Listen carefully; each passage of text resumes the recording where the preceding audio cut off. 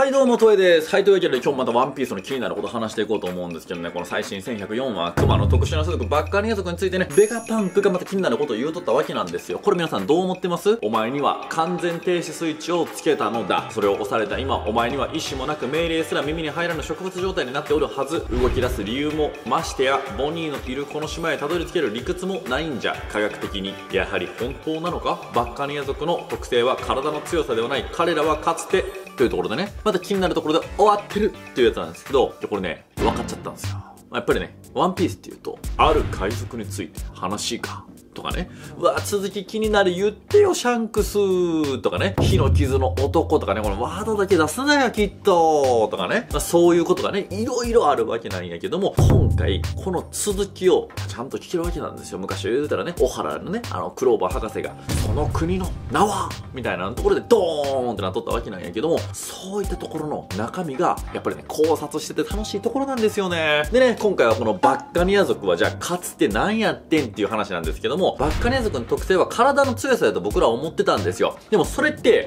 ルナーリア族となんか似てないっていう、ルナーリア族もキングがね、すごい強くて、まさかとね、あのゾロが見破りましたけど、炎が出ていない時に攻撃をしないといけないみたいなことがね、あったわけじゃないですか。で、その特性を活かして作られたのがセラフィムなわけじゃないですか。あれが体の強さだったわけなんですよ。で、バッカニア族、まあ、奴隷として体が強いこと、パワーがあること、それは確かに優秀の証拠だよねって思うわけなんですよ。でも、それだけじゃないんですよね。彼彼らは、かつて、てんてんてんてんてんってことで、ベガパンクが何かを言おうとしていたわけなんですよ。でね、僕、いろんな可能性を考えたんですけど、これなんちゃうんかなっていう可能性をね、思ったんですよね。でそれはまた、まあ、2課にも繋がってくることなんですよね。というのも、僕は、バッカニア族の特性。彼らはかつてその意志を形にして悪魔の実を生み出した一族。そういう可能性があるんじゃないのかなって思ったんですよね。まあ、つまり悪魔の実の創造主がクマ、バッカニア族なんじゃないのかなっていう。やっぱ失われた種族って言われておりますからね。で、まあ、この後のベガパンクが、まあ、そう取られても仕方がないな、愛ゆえと説明しても良いが、みたいなことも言うていたんですけど、バッカニア族の特性が愛やとしたら、まあ、確かにガープがルフィを投げた時の愛やる拳とかも繋がるから、まあ、すごいいいやんって思うんですけど、ベガパンクってやっぱ科学者なんですよね。科学者っていうことは、やっぱり理屈だったり、その仮説を立てて検証したりするっていうところだと思うんですよ。なんで、愛以外にも、ちゃんとした理由があるっていうことを思うんですよね。で、その理由こそが、バッカニア族の特性が悪魔の実を生み出せる、悪魔の実を生み出した一族なんじゃないのかなと思ったんですよ。で、まあ人体実験によってね、クマっていうのはもう意志も失って、自我も失っちゃったわけなんですけど、完全停止スイッチだけは押されても、ボニーを救うために動いていた。そういったところに、実はこの設定が繋がってくるんじゃないのかなと。クマがポンポンポンポン悪魔の実を作れたわけじゃないと思うんですよ。バッカニア族の中でも本当に選ばれたもの、いわゆる覚醒みたいなできたものだけがこの悪魔の実を作れるっていう話だと思うんですけど、今回クマがまた新たな悪魔の実を作ってしまうんじゃないのかなって思うんですよね。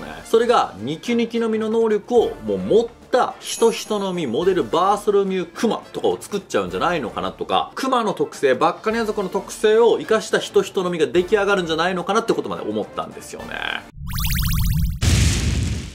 でね、まあなんでそもそもこの悪魔の実の話がこのエッグヘッド編でわかるかっていうね、僕ね、エッグヘッドは悪魔の実の説明のためのショーでもあるっていうのがね、ずっと思ってたんですよね。まあというのも、まあそもそも尾田先生が SBS の中で悪魔の実のこのメカニズムに関しては作中の中である博士が解説してくれますっていうことを言うとってね。で、エッグヘッド編入りましたよ。これ絶対ベガパンクのことやんってなったわけなんですよ。武器に悪魔の実を食べさせる技術を開発してのベガパンクやし。で、悪魔の実をいろんなね、利用してセラフィムとかに搭載することとかもできた。グリーンブラッドとかも開発した。これもベガパンクやし。ベガパンクがこの悪魔の実のメカニズムというのはもうバンバンバンバン解明していったわけなんですよ。で、人造悪魔の実みたいなことまで作り出せているというわけなんですよね。まあ、だから、ロギア以外はもう大体かなりの確率で再現できるようになったこの天才ベガパンクだからこそ悪魔の実の話をしてくれると思ってたわけなんですよ。で、実際エッグヘッド編で悪魔の実が生まれるメカニズムについて説明してくれたわけなんですよね。それが悪魔の実とは誰かが望んだ人の進化の可能性である。ああなれたらいいな、こうなれたやりな多岐にわたる人類の未来が能力である。従ってその不自然は自然の母海に嫌われるという罰を背負って存在する。能力者とは誰かが思い描いたいくつもの異次元を生きる者たち。これが私の仮説だということでワンピースという物語によってこの悪魔の実というのはすごい重要な、まあ、アイテムになってるわけなんですけどそれは人間のああなれたらいいなこうなれたらいいなっていう願いの結果やっていう話やったわけなんですよ。すごい素敵な話ですよね。まあドラえもんの秘密道具みたいな感じで。でバギーが食べたバラバラの実っていうのもかつて体がバラバラになったらおもろいなと思った人ができたからまあできた実やろうしアバサルムが食べていたスケスケの実も体がスケスケになったらいろんなエロいことできてええなと思った人が多分おったからできたやろうしそういった感じでこの悪魔の実っての生まれたと思うんやけどでもこの説明で聞いて僕らはちょっといやこれもう少し説明あるんちゃうんかな深掘りあるんじゃないのかなって正直ちょっと思ったわけなんですよ。もしかしたらこれが全てかもしれないですけどね。でも多くの読者はやっぱなんとなくまだ悪魔の実秘密あるんちゃうんって思うんですよね。というのもそこでこの疑問が解決してないんですよ。ワンピースの世界において悪魔の実はどうやって最初のやつが生まれたのかそして作中で新しい悪魔の実が生まれていないんですよね。既存の悪魔の実スマイリーが食べとったね。あのモデルアホロートルの実が転生したとかメラメラの実が転生したとかはあるんですけど新しい能力の悪魔の実が生まれた描写っていうのはもう100巻以上書いてても今まで1回もないわけなんですよ。というのも人間のああなれたらいいなこうなれたらいいなという欲が古代に消化し尽くされているかもしれないっていうことをね思ったわけなんですけどそれエッグヘッドで自ら否定してるんですよね。欲というのは抑えられないと。ということは時代が新しくなれば、まあ、僕らもそうですけどスマホなんてまあ100年前は当然なかったわけなんですよ。じゃあこのスマホの充電がなくならんようになったらいいなってまあちっちゃい願いですよ。でもそういった身があってもいいんですよ。スマホの充電だけできますみたいなね。くっそ弱い身やなと思うんですけどちょっと便利じゃないですか。そういった身があってもいいと。だからそういう風に新しい欲求というのがどんどんどんどん出てくるはずなんですよ。にもかかわらず作中で新しい悪魔の実は生まれていないと。まあやっぱこれベガパンクの仮説を聞いた時からずっと疑問やったんですよね。でじゃあ作中の中で強い願いを持った人間がいないのかって言ったら、まあワンピースの世界そうじゃないんですよ。例えばまあナミさんとか典型なんですけどアーロンを倒すためにこうなれたらいいなみたいなことを考えたと思うねアーロンを倒せたらいいなと。でも、それが無理だから、お金で買い戻そうってしたわけなんですよ。ここや志村を。でもあの時、ナミは別に悪魔の実の能力が発現したわけではない。近くのみかんが悪魔の実に変わったわけでもないと。じゃあビビ、アラバスタに雨を降らせたらいいな。もしくは戦いをやめさせられたらいいなと思ったんですけど、別に悪魔の実が生まれた描写とかはなかったんですよ。強い願いはあったのにもかかわらず。石や夢や欲望を形にして悪魔の実ができるとするならば、強い願いがあったらできるんちゃうんかって思うんですけど、そうなってない以上、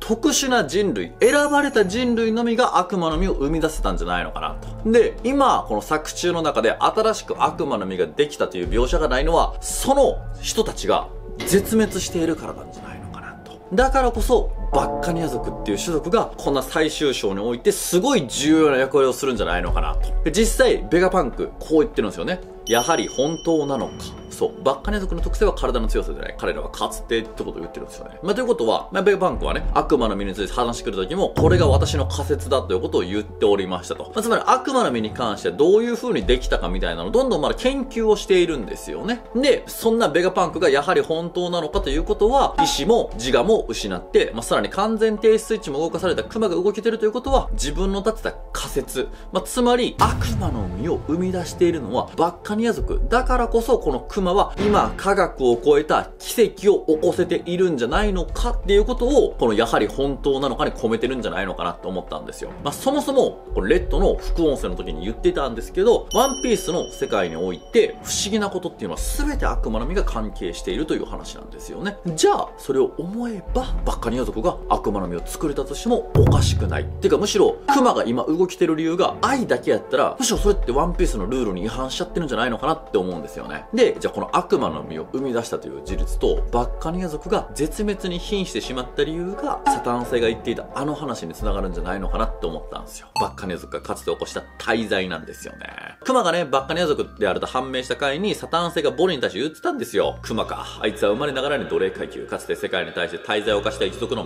末裔。絶滅種、バッカニア族の生き残りと。クマが犯した罪とは言ってないんですよね。だからソルベ王国をぶっ壊したとか、そういうことを言ってるんじゃないんですよ。大罪を犯した一族って言ってってるんですよ。しかも昔に。だからまあ黒ずみ家みたいなもんですよね。本人は関係ないけど、昔の誰かが滞在を犯したせいで、今まで奴隷階級になってしまったっていう、生まれながらに奴隷階級になっちゃうというひどい扱いを受けているわけなんですよ。熊も大概ですよ。王族たちをボコボコにしてるんですから。そういうことを思うと、それが滞在って言われてもいいのに、そんなにあれは重く書かれてないんですよ。じゃあ、バッカニア族がかつてやった世界に対しての滞在ってなんやねんっていう話なんですけど、それが悪魔の実を生み出したことやったんじゃないのかなと。で、まあ、この能力を持ってていない、まあ、昔のね、この世界政府側の人間たちにとっては、悪魔の実を生み出してしまう種族っていうのは、めちゃめちゃ脅威なわけじゃないですか。で、実際、空白の100年で勝利した後、これバッカニア族を奴隷にして殺したりして、刀狩りですよね。悪魔の実がこれ以上生まれないように絶滅に追いやったんじゃないのかなと。で、これ悪魔の実というのも明らかに、まあおかしいんですよね。だって普通に能力の実とかでもいいし、知恵の実みたいなね、プラスの名前でもいいのに、悪魔、デビルというのをわざわざつけているんですよ。ということは、これ悪魔の実に対して敵側の勢力が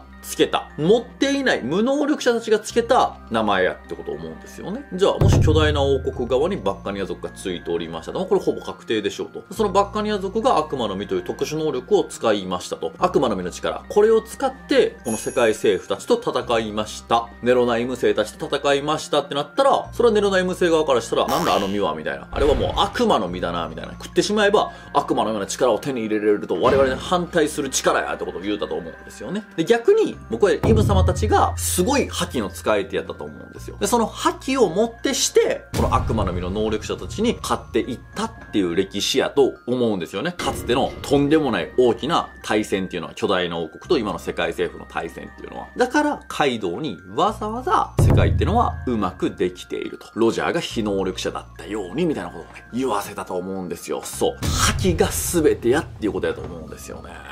その割に、サタン製の覇気しょぼそうなんだけはね、納得いかないんですけど、まあちょっとそれは置いといて、まあおそらくね、このバッカニア族側からしたら、悪魔の実はもともと神の実みたいなことを言われてたかもしれないですよね。で、ルフィが食べたこの人人の実現住種モデルニカが存在するのも、バッカニア族の人たちが自分もニカみたいになりたいと思って強く願った結果なんじゃないのかなと。だからもしかしたらこのニカっていうのがバッカニア族とすごい親しかった。もしくはニカ自身もバッカニア族でこういう実をどんどんどんどん生み出して、なんだあのふざけたやつはみたいなことになるってたのかもしれないですよね。なんで、この悪魔の実たらそうやって生まれたんじゃないのかなって思うんですけど、ワンピースの世界で悪魔っていうと、まあ、やっぱりロビンちゃんのこの悪魔の子がすごい関わってくるわけなんですよ。で、この小原の生き残りとしてロビンちゃんは悪魔のことになって、めちゃめちゃ世界に恐れられてたわけなんですよね。で、超常的な力を得ることができたこのバッカニア族の果実が悪魔の実として恐れられていたというのも、悪魔を恐れるという点ではすごい同じじゃないですか。で、ロビンちゃんの罪ってなんやねんっていうと、悪魔の実を食べたこととか、バスタコールから逃げたこととか、そういうことじゃないんですよね。ポーネグリフを読めるっていうことなんですよね。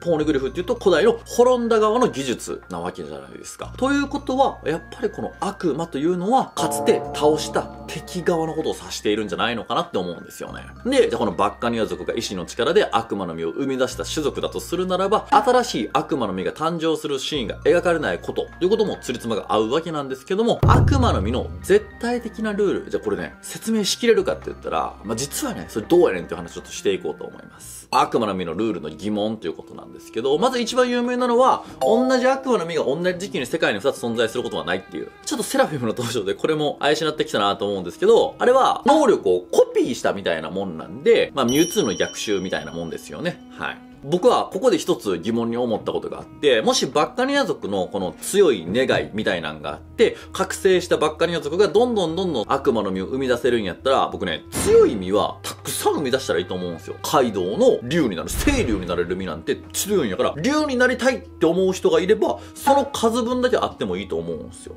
スケスケの実、女風呂覗きたいっていう惨事みたいな強い願望みたいなのはめっちゃあると思うんですよね。じゃあこのスケスケの実たくさんあってもいいと思うんですよ。でも、そうはなっていないんですよ。じゃあこれが一体なんでかと。そこが同じ悪魔の実が同じ時期に世界に2つ存在することはないっていうところに繋がってくると思うんですけど、これを説明するのに悪魔の実の関するルール、さっきね、小田先生がレッドの副音声で話したって言ったじゃないですか。このレッドにおいてもう一つ異質な存在ってのがいたんですよ。それが魔王と言われていたトットムジカなわけなんですよね。魔王ってちょっとワンピースの世界観にあんまりないわけじゃないですか。これも歌うたのみの能力者が近畿の楽曲トットムジカを歌うと発生するっていう組み合わせ悪魔の実プラス何かで発生する要素なわけなんですよ。それが今回は魔王やったっていう話なんですけど、これがまあ歌ワールドと現実世界にも君臨する魔王というわけなんですが、こちら、これに関してジャンプの J-BOOKS 版の小説にとんでもないことが書いてたんですよ。それがトットムジカの説明。寂しい。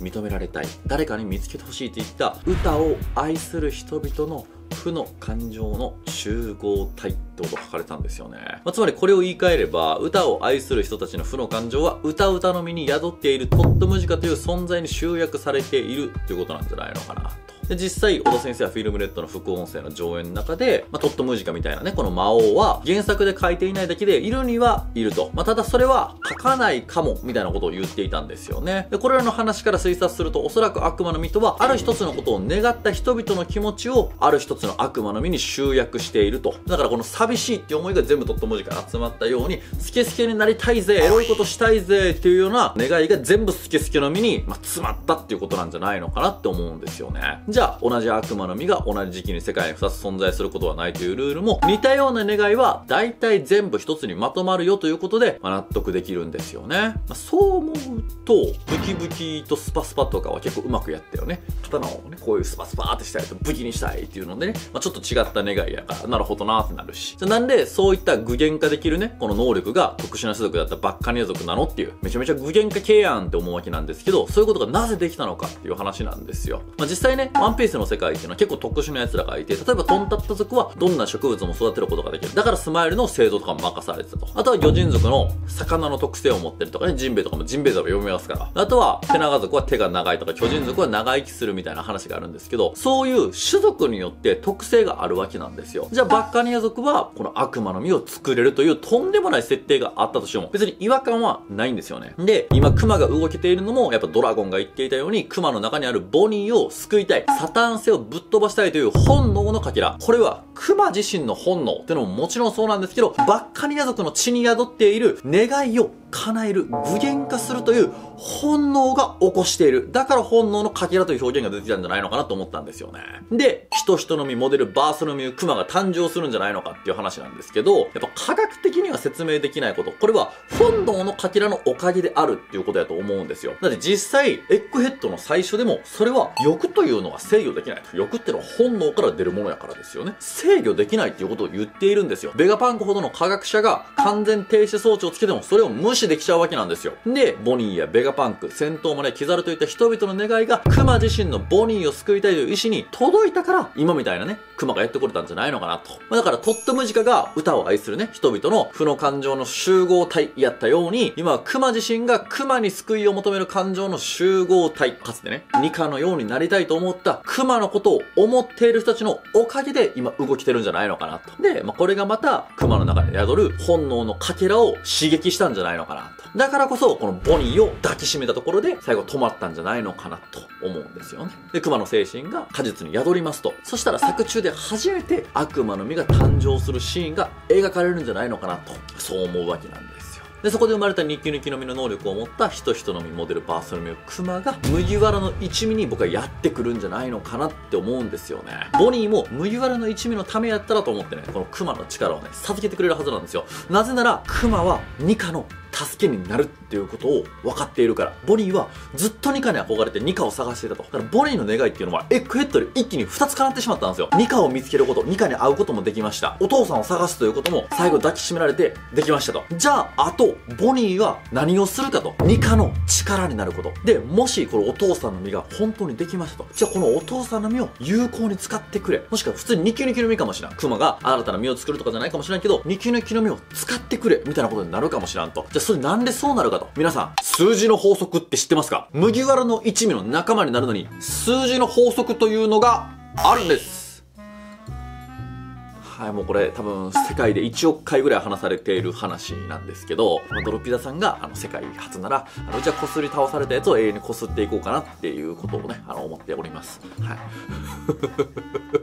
なチャンネルやねん。なんでお前このさ、今更このテンションでさ、数字の法則があるんですとか真顔で言えんねんな。こうなってきますよね。あとすみません、話長くなりましたね。数字の法則ってね。まあ一応ね、あの、今日初めて、人生で初めてワンピース考察見たっていう人もいると思うんでね、話しましょう。これはもう SBS にも取り上げられてるぐらい有名な考察なんですけど、麦わらの一味が食べている悪魔の実に法則があるっていう話なんですよ。人人の実モデル2価が出る前の話なんで、そこを分かったように聞いてくださいね。ルフィが食べたのが、まずゴムゴムの実だから5656と。で、チョッパーが食べたのが人人の実で11010。ロビンが食べたのがハラハラの実で8787。ブルックが食べたのが読み読みで4343と、こういう感じで数字に置き換えれるよって話なんですよ。じゃあ、これ残っている数字は2と9なんですよね。だから、ニキニキの実のクマが仲間入りするんじゃないのかっていう考察があるんですよ。で、これ、小田先生はこの質問に対して何て返したかと。何？いや、びっくりしました。どういう意味で驚いたかって、ノーコメントということで、ほとんど何も情報を出さず言っていたんですけど、ここに書いたということが全ての真実なんですよね。で、さらに、これだけやったらこじつけやんと思うかもしれないんですけど、実は裏付ける証拠もあって、それが、この56、ゴムの56と、人人の110、で、花々の87、そして読み読みの43、で、ニキニキの29、これを全部足すと325。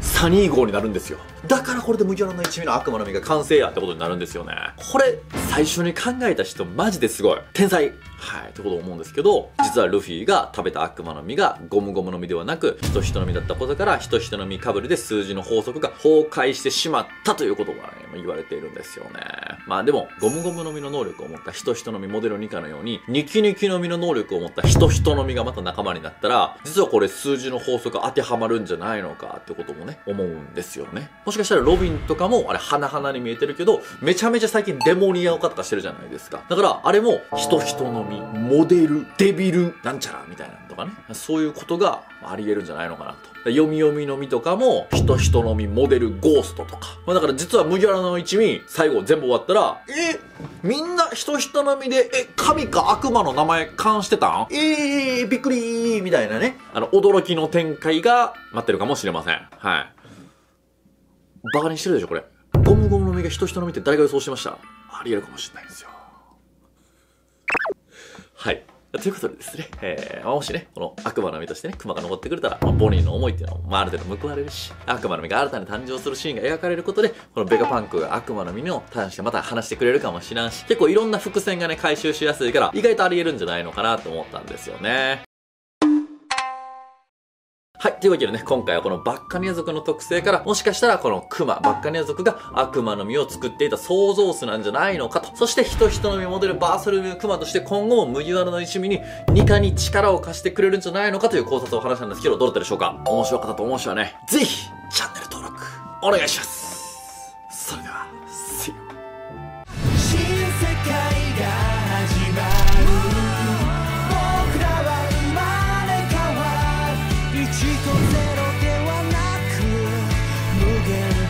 3人のテラーがお届けする星です。ザ・サイレントドッグです